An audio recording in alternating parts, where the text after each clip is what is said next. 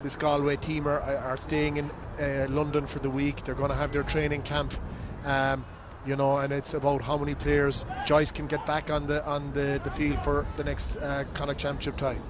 Yeah, tore his ACL on club duty in the back end of 2022, Kieran Molloy.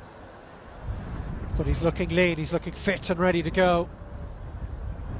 Finnerty lays it off to Conroy, who immediately gets the ball going forward again for another goal chance.